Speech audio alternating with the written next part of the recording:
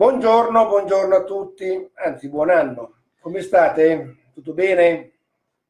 Voi non salutate. Aspetta, aspetta, aspetta, che forse non è ancora in diretta. È in diretta, in diretta, sono certo che in diretta, vedi che è in diretta. Ok, perfetto, 13 Quindi secondi. saluta. Perfetto, saluto anch'io, buon anno a tutti. Allora, eh, questo è il primo incontro. Meglio che ti metti no, qua, No, no? se così guardo perché intanto non ci vedo. Ah, ecco, eh, intanto fino vale. a- fino alla tastiera. Ok, L'incontro- questo è il primo incontro, credo, di quest'anno, giusto? Quindi la prima diretta caffè elettrico. sì, I due argomenti credo che sia giusto discutere eh, con voi eh, in questa diretta sono questa polemica uscita sul- sui giornali, sui social del comma 103 dell'articolo 1 della finanziaria che prevede la possibilità di far entrare nella zona ZTL eh, i veicoli elettrici e ibridi che ha scatenato un, eh, un casino perché eh, qualcuno pensa che eh, con questa norma eh, i veicoli elettrici possono entrare anche all'interno delle zone pedonali. Secondo me ci sono due, due definizioni, vero Mirko, sulle zone, quali sono? assolutamente sono quelle del, che sono date dal codice della strada, perché sostanzialmente le zone a traffico limitato e le aree pedonali sono eh, ben descritte dall'articolo, eh, se non ricordo male, l'articolo 3 del codice della strada. Ci sono le definizioni. Le definizioni prevedono che le aree e le zone sono due cose ben distinte. Nel- nella finanziaria è ben spiegato che si riferisce alle zone, quindi proprio alla- all'attività eh, dei veicoli, eh, le zone dove i veicoli possono circolare.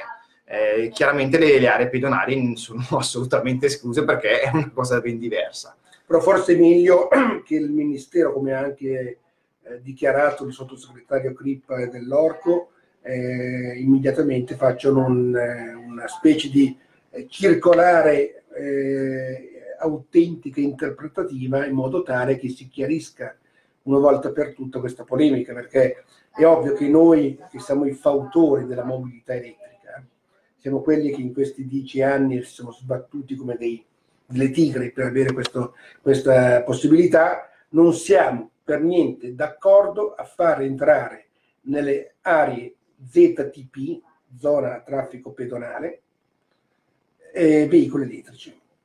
Dove ci sono le zone pedonali vanno soltanto le biciclette, forse elettriche, meglio elettriche, e si va a piedi.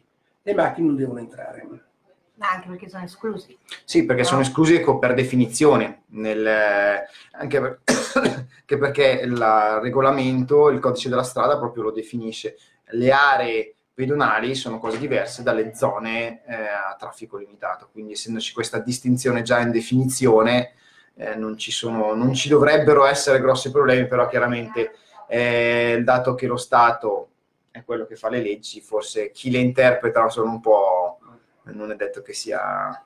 Pens- pensandoci adesso, io sono convinto, visto che non c'è nessuno che si è collegato, a parte una persona che saluto, eh, che forse la gente è abituata ad andare sull'altro sito, se là sull'altro gruppo, quindi il gruppo di classe, eh, di classe ONU, se non su questo.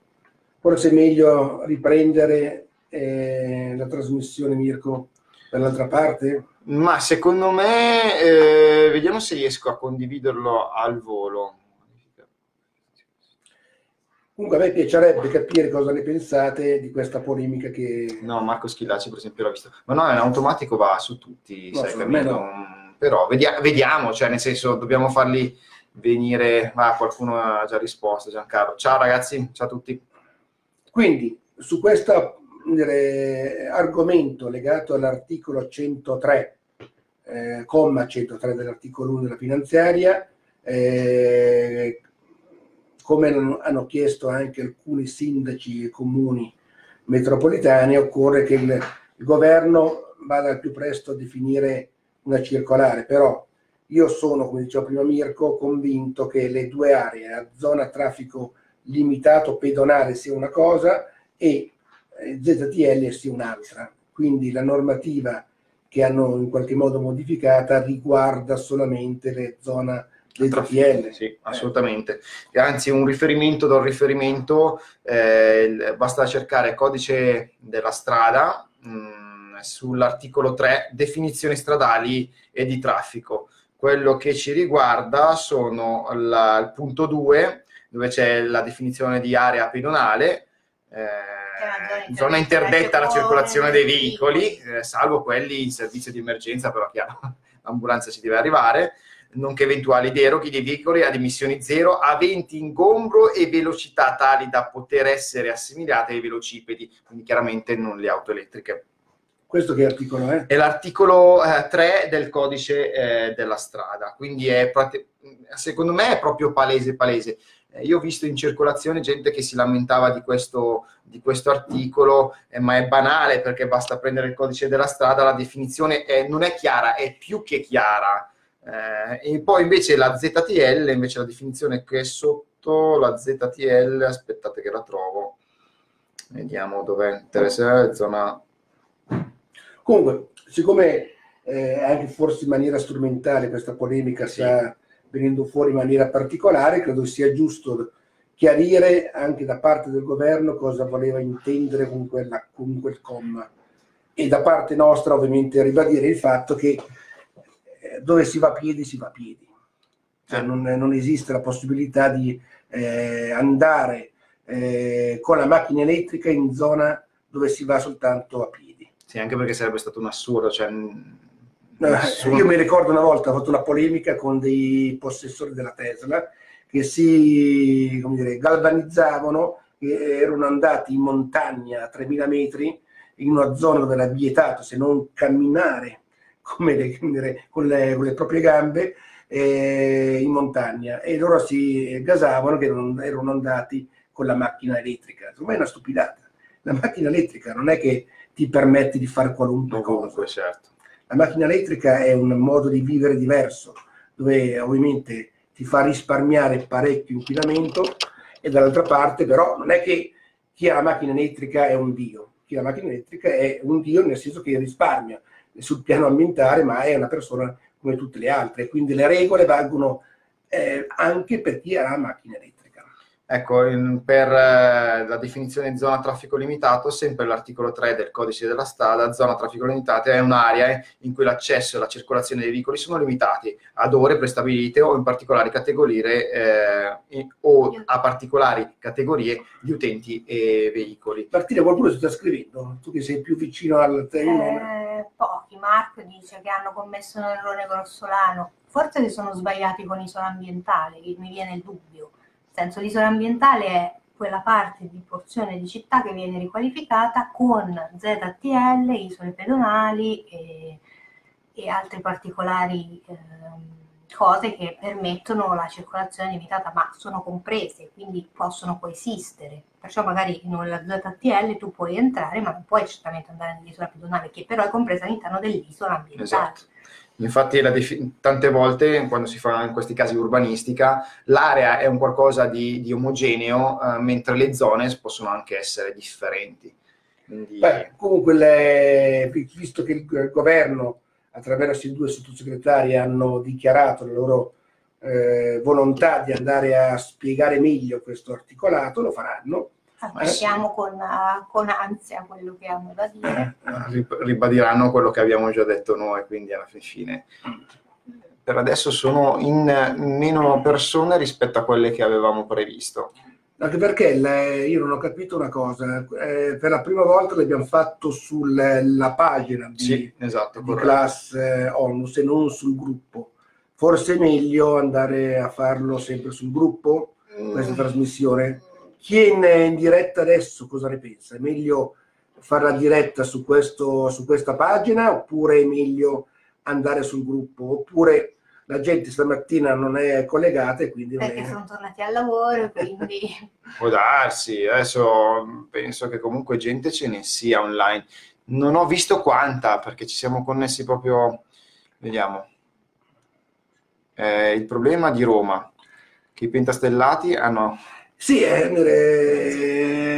eh, Gerardo, è ovvio dire, che hanno, eh, hanno dire, un po' di difficoltà visto che sono nuovi nel palazzo del potere, eh, per cui eh, a volte eh, si fidano per certi versi troppo di chi sta facendo le cose e poi si trovano eh, dei, eh, degli articolati, dei comma, che ovviamente nemmeno loro pensano di in qualche modo scriverlo. Cioè, io non credo sinceramente che c'è la volontà politica da parte di questo governo e del Movimento di 5 Stelle di far entrare nelle zone, anzi nelle aree a traffico escluso, esclusivo. Sono sbagliati eh, sicuramente. Ma vedremo. Confuso, eh, hanno confuso. Comunque, siccome la volontà politica è di modificare, o meglio, di interpretare in maniera autentica questo, questa com, com, vediamo nei prossimi giorni, anche perché il governo, anche per quanto riguarda i decreti attuativi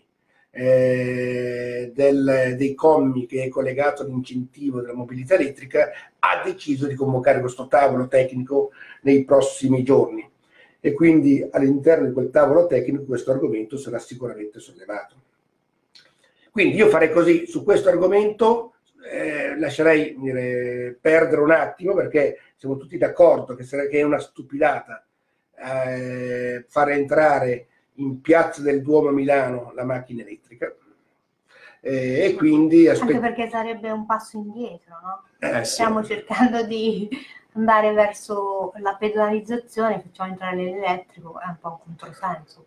Ma infatti il paradosso, adesso qualcuno mi ammazza che chi è la macchina elettrica, io sono contrario a dare dei privilegi per far entrare nella ZOT, anche nelle ZTL, i veicoli elettrici, perché una macchina elettrica ingombra come una macchina normale. Casomai io darei un grande incentivo a chi eh, usa la macchina elettrica nelle aree metropolitane, arriva ai parcheggi, nei parcheggi gratis parcheggio, si ricarica gratis e poi usa il mezzo pubblico. Per cui noi abbiamo, chiederemo all'ATM di fare entro il prossimo anno una politica dove incentiva nei parcheggi di interscambio eh, gomma su ferro, che ce ne sono parecchi, Cologno, Rozzano, Assago e gli altri, gli altri posti, dove chi usa la macchina elettrica può parcheggiare per un po' di tempo gratis, ha le sue ricariche elettriche gratis e poi automaticamente usa il mezzo pubblico per poter andare in città. Io invece sono un po' dalla parte dell'elettrico, sono un po' più che i privilegi debbano essere temporaneamente dedicati alla, all'attività della, appunto delle auto elettriche per maggiormente diffondere un po' anche questa, eh, questa cosa, perché le, purtroppo la mobilità elettrica non, non esiste. Eh, noi ci, anche tu dici c'è lo spazio di un'auto elettrica, sì, però se c'è l'auto elettrica, sì, se ci fosse questo problema magari però eh, non, per, per, il discorso di prima Mirko sì, sì. chi ha la macchina elettrica non deve sentirsi un privilegiato rispetto no solo per l'inizio solo per quel lasso di eh. tempo quando saranno tutti elettrici è chiaro che non ci sarà questo ma sai cosa vuol dire per eh, a Milano entrano circa 500.000 persone al, al, giorno per lavorare avere gratis il parcheggio il parcheggio del, eh, nell'area di interscambio e le ricariche gratuite. Cioè vuol dire che per ogni sì. eh, possessore di veicolo elettrico risparmierebbe circa 10 euro al giorno. Certo. Che per 5 giorni a settimana sono 50, 200 euro al mese. Perché ovviamente alla fine si ricarica poco a casa, si ricaricherà in queste aree, avrà il parcheggio gratis, il parcheggio costa da un euro a un euro e mezzo all'ora, sta lì almeno 10 ore, quindi sono 15 euro, Certo. Quindi il fatto di privilegiare, non sul fatto di fare entrare, cosa che adesso non ci mancherebbe altro, adesso è giusto, adesso è giusto che ci sono poche macchine elettriche, quindi dare un segnale al mercato sia opportuno. Perlomeno all'inizio. All'inizio.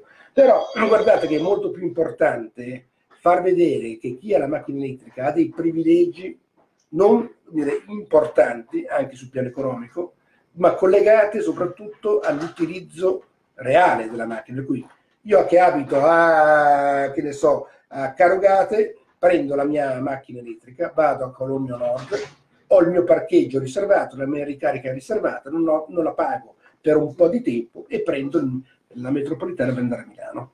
Ecco, um, un'altra cosa, io aggiungo che deve, deve essere anche facilitato l'iscrizione a questi tipi di privilegi, perché, se essere sincero, Milano, io non posso, io, io pago, dovrei pagare il parcheggio, nel senso, anche se ho l'auto elettrica devo per forza pagare. eh, perché devi, devi comunque eh, andare in comune, devi fare tutto, compilare le carte, devi pagare il bollo, eccetera, eccetera. Quindi eh, non, è, non, è, eh, proprio semplice. Vabbè, vediamo un po' cosa dicono, cosa si dice.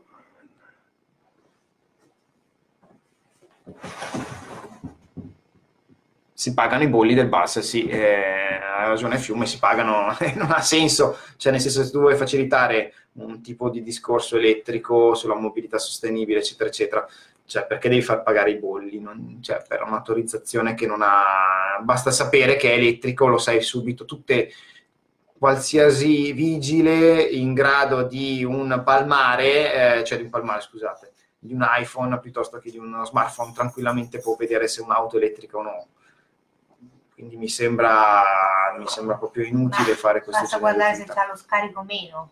Beh sì.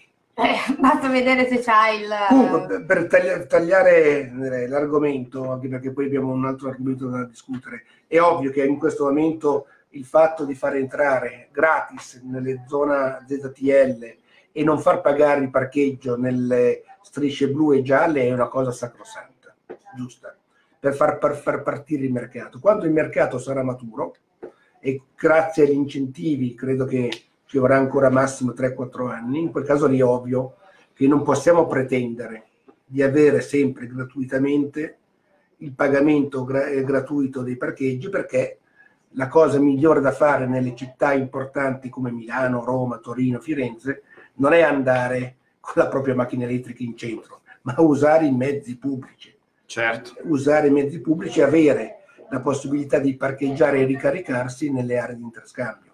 Questo credo che la cosa questa, che, bisogna, che bisogna fare e richiedere alle pubbliche amministrazioni, di fare in modo che in tutte le aree di parcheggio di interscambio, in periferia, collegato al mezzo pubblico locale, ci sia dei parcheggi riservati e delle colonne di ricarica dedicate sì, avere una logistica migliore di quella che è adesso, perché purtroppo il mezzo pubblico è un po' bistrattato. Partirei sotto di qualche altra domanda? No, vedi che la barra è qua.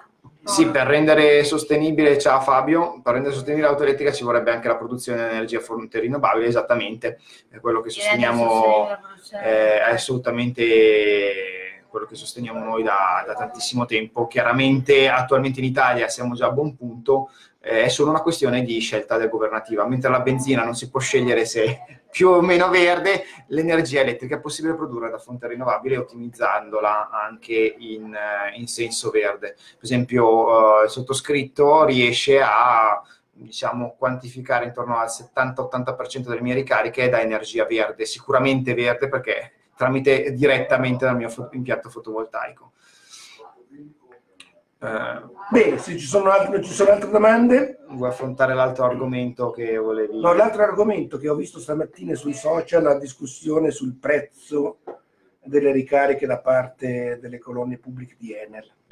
Mm. Eh, far vedere qualcosa delle colonie? No, nel senso che forse non è l'argomento che bisogna affrontare in due minuti. No, infatti. Lo rimandiamo al lunedì prossimo perché credo sia opportuno e giusto riprendere eh, l'argomento su come viene eh, com- come sono composti i costi collegati alle ricariche eh, dei veicoli elettrici.